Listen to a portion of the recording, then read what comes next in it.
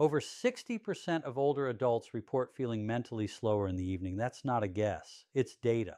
And yet most people brush it off as just getting old. But let me be honest with you. After 30 years of listening to patients describe this fog, this strange quieting of the mind after dinner, I can tell you something with confidence. It's not your memory that's the problem, it's your blood flow. I've seen it again and again. People in their 60s and 70s who still read, still think clearly, still engage until the sun starts to go down, and then comes the mental drag. You lose your train of thought. You walk into a room and stand there unsure of why. You reread the same sentence three times and nothing sticks. Sound familiar? That's not dementia. That's not the end of anything. That's your brain running low on fuel. See, your brain is only 2% of your body's weight but it uses over 20% of your oxygen.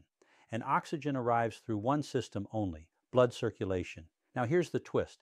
By age 65, your blood vessels become less flexible, especially the ones leading to key thinking regions in your brain the frontal cortex, the hippocampus. Less flexibility means less flow. Less flow means less clarity. But here's the part no one talks about. You don't need drugs to fix this. You don't even need supplements. You just need food, the right food at the right time. Tonight, I want to show you three vegetables that improve blood flow to the brain gently, naturally, and in a way that works while you sleep. These aren't exotic. They're probably already in your kitchen, but when used intentionally, they become one of the most powerful tools for keeping your mind sharp after sunset. And the third one I'll share might just change how you feel by the end of this week. If you're new here and you care about staying clear headed as you age, consider subscribing to Pure Health Tips. This channel exists for people like you. Now let's begin not with a supplement or a theory, but with something simple, red, and surprisingly powerful. You've seen tomatoes your whole life in salads, soups, sauces. But what you may not realize is that this simple fruit holds one of the most powerful brain restoring compounds for older adults, lycopene. Lycopene is a natural antioxidant, but more importantly, it's a compound that affects how your blood vessels behave. As we age, our vascular system becomes less elastic. The walls of our arteries stiffen. Blood doesn't move as freely. This hits the brain first, especially the deep structures responsible for memory and decision making. A study published in the Journal of Nutrition and Aging in 2021 found that older adults with higher lycopene levels had significantly better blood flow in the prefrontal cortex, the area of the brain that manages short term memory, attention, and planning. Even more interesting, the study showed that lycopene helped reduce neuroinflammation, a hidden factor in age related cognitive decline. When blood vessels become inflamed, they don't dilate properly. The brain receives less oxygen and fewer nutrients. Over time, this creates a pattern of fatigue, forgetfulness, and poor focus that can feel like early stage dementia, but isn't. What lycopene does is quietly powerful. It helps reduce that inflammation, it softens the vessel walls, and it allows more oxygen rich blood to reach the places in your brain that are struggling to stay sharp. Another clinical trial from the International Journal of Molecular Sciences in 2020 reported that lycopene supplementation improved cognitive performance in older mice exposed to oxidative stress. While that may sound like a lab result, the real world effect is simple. Tomatoes help your brain breathe again. I remember a woman named Alice. She was 74, a retired teacher. She told me, I read the same page three times before anything sticks.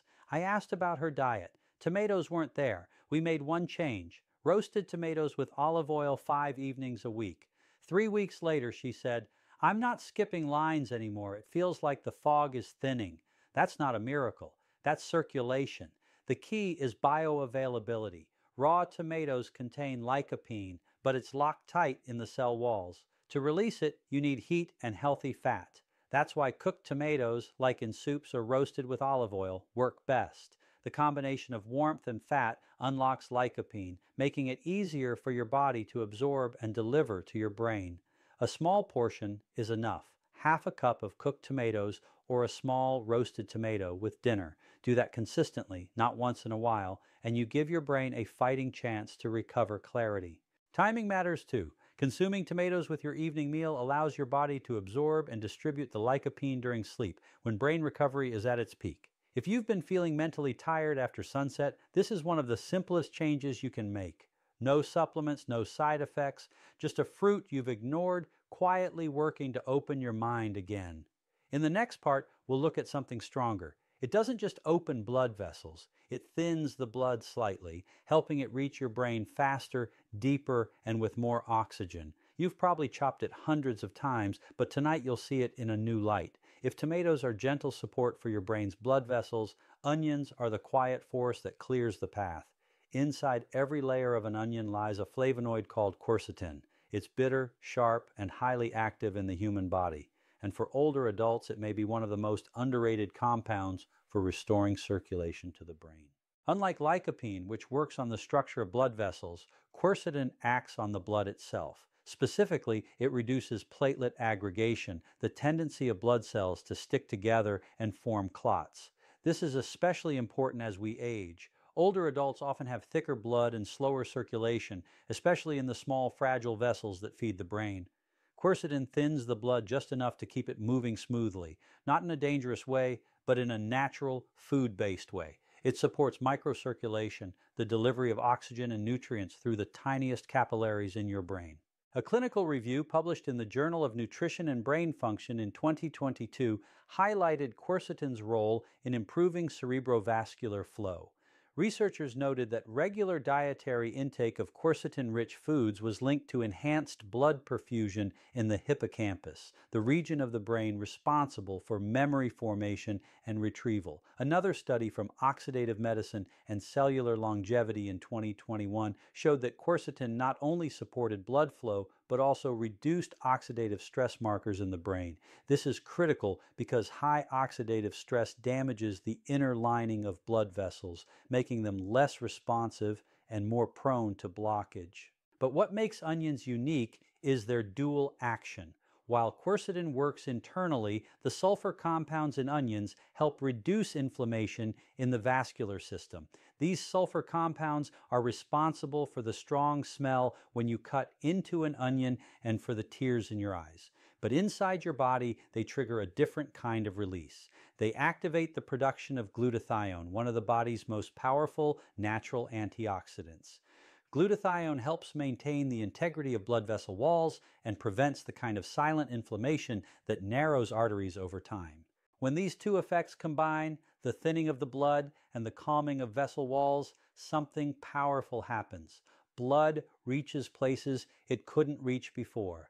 Oxygen flows into the deeper layers of your brain where fog and fatigue used to take hold. These benefits are not theoretical. They've been measured, documented, and replicated in lab settings. You don't need supplements. Just onions used regularly and wisely. Red onions have the highest quercetin, but all types help. Light cooking softens flavor while keeping most of the benefit. Sauteing with olive oil is one of the best ways to support absorption. Just half an onion a day is enough. Even a few slices at dinner can support better brain blood flow over time. Make it a habit, not a side note, because better flow means better thinking, and better thinking brings life back into focus. Up next, we'll explore a green vegetable that works on a deeper level. It doesn't thin blood or soften vessels. It opens them from the inside through a powerful biological pathway that activates as you sleep. This one may be the strongest of all. We've seen how tomatoes soften the vessels and how onions help the blood move through. Now let's talk about the vegetable that opens those vessels from within, giving your brain more oxygen, more clarity, and more strength while you sleep. Spinach doesn't just support blood flow, it triggers a biological mechanism that allows blood vessels to expand not through force, but through chemistry. That mechanism is called nitric oxide activation, and spinach is one of the most natural and effective ways to turn it on. Spinach is rich in dietary nitrates. When consumed, these nitrates are converted into nitrites by bacteria in your mouth. Then, inside your body, those nitrites become nitric oxide, a gas molecule that relaxes and dilates your blood vessels. This process is especially helpful during the evening and night when your body enters repair mode and circulation slows naturally. The result more open arteries, better oxygen delivery, and deeper nourishment to the brain regions that suffer first from poor flow. A study published in the Journal of Clinical Nutrition in 2020 followed adults aged 65 and older who consumed a nitrate rich spinach beverage daily.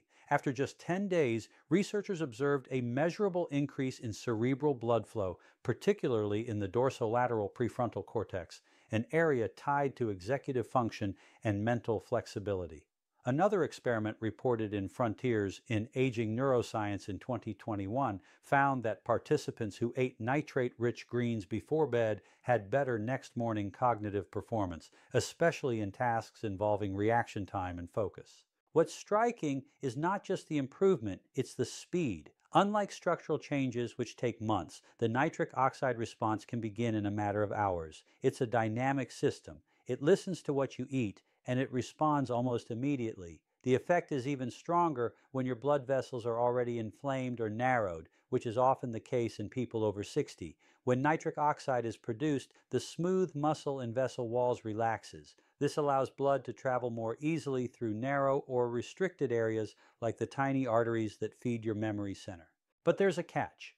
This system only works if you preserve the nitrate conversion pathway and that means avoiding antibacterial mouthwash around mealtimes. It sounds simple, but it matters. Mouth bacteria are part of the chain that allows spinach to work its magic. Kill them, and you break the link. That's why I always recommend eating spinach in the evening after your final brushing, but before mouthwash. Let the body do what it was built to do. Cooked spinach is easier to digest and provides a concentrated dose.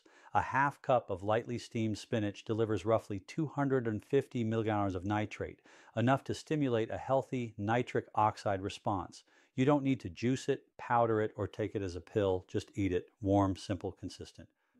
I remember a man named Frank. He was 71, sharp in the morning but foggy by 70 p.m. He added spinach to his dinners for 12 nights straight. By the end of week two, he said, I didn't forget my parking spot. That hasn't happened in months. This isn't magic. It's science working with nature. And it's exactly the kind of change we can lean on as we age steady, proven, and safe. Spinach may not look like brain food, but in the quiet hours of the night, it becomes one of the strongest allies your mind can have. In the next part, I'll show you how to bring all three of these vegetables together into a simple daily rhythm. Nothing complex, just a small plan that creates big momentum for your brain. By now, you've seen how three simple vegetables can each support a different part of your brain circulation system. Tomatoes soften the vessels, onions clear the path, spinach opens the flow from within. But real change doesn't come from knowing, it comes from doing. And the best way to begin is by building a rhythm, a daily pattern that's so easy it becomes second nature. Here's how I recommend using these foods in a way that works with your body, your routine, and your natural recovery cycles. Start your morning light. You don't need a heavy breakfast to help your brain. Instead, focus on hydration and movement. Your first real opportunity to support circulation begins with lunch. At midday, add a few slices of red onion to your plate. You can stir them into a salad, lay them over a piece of grilled chicken, or lightly saute them in olive oil for warmth and digestion. The key is consistency. Even a small amount delivers the quercetin your blood needs to move freely. In the afternoon, go about your day as usual. There's no pressure to prepare anything special. Just avoid skipping meals. An empty stomach makes blood sugar dip, and that can mask the effects of better circulation. In the evening, that's when you stack the benefits. Start with a small side of cooked spinach, steamed or sauteed, not overcooked. Half a cup is enough. Make this the base of your meal, not just a side note. Next, add tomato, roasted, simmered into a sauce, or blended into a warm soup. Cooking releases lycopene, and pairing it with olive oil helps your body absorb more of it. One small tomato or half a cup of sauce is all you need.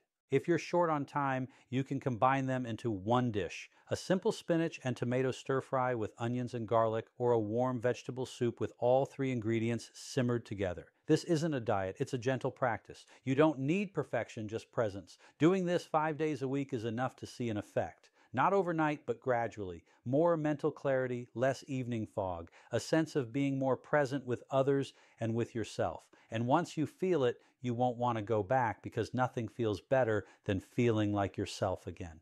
In the final part, I'll leave you with a thought, a reminder that even if your mind has felt dull or scattered lately, it's not too late to bring it back, and you won't have to do it alone. If you've made it to this point, I want to thank you, not just for watching, but for staying open, for giving your brain the chance to be heard and the care it deserves. You see, memory loss, confusion, and mental fog are not signs that your brain is broken. They're signals, signals that your brain is still trying, still working, still hoping for a better supply of what it needs. And now you know how to give it that supply not with medication, not with expensive programs, but with three ordinary vegetables used purposefully, used consistently, used with care tomatoes, onions, spinach, simple foods, powerful effects. Because when blood flows freely, the brain lights up. And when your brain lights up, so does your life. You don't have to accept the fog. You don't have to settle for fading clarity. You still have time to feel sharp, to feel present, to feel like you again. And if no one has told you this lately, let me be the one to say it. It is not too late. You are not too far gone. Your brain is still listening. So start tonight. Make one change, then build on it quietly, steadily, faithfully. If this video helped you see your brain in a new light, please consider liking it. Share it with someone who needs to hear this message. Leave a comment below, even just one line, to remind others that they are not alone. And if you'd like more videos like this, you can subscribe to Pure Health Tips. This is a journey worth taking, and I'll be here walking it with you.